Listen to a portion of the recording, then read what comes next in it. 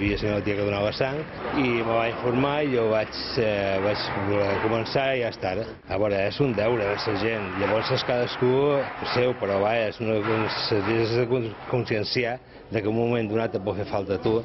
Joan Antoni va començar a donar sang el 1989 i ha superat les 75 donacions, 4 cada any. Com ell i altres casos. Com Esteban, que donava sang a Barcelona des del 1982 i ara ho fa a Eivissa. Perquè és una cosa que, que ajuda la gent, no? I és una cosa doncs, molt bona per, per, per cadascú, no? Perquè a més a més et fan una, una, un anàlisi també, també els resultats a casa i et diuen si estàs bé, si, estàs, si necessites alguna cosa i, bueno, i sempre t'ajuda. Patricia també dona sang des dels 18 anys.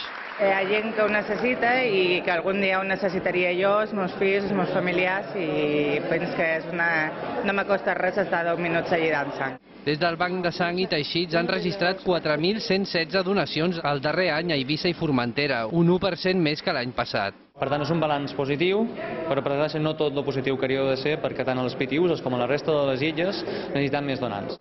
A la tardor, la Fundació engega la campanya sentimental Jo dona amor i tu per mirar de reclutar més persones despreses i recorden que el 60% de la sang donada va parar a pacients amb càncer.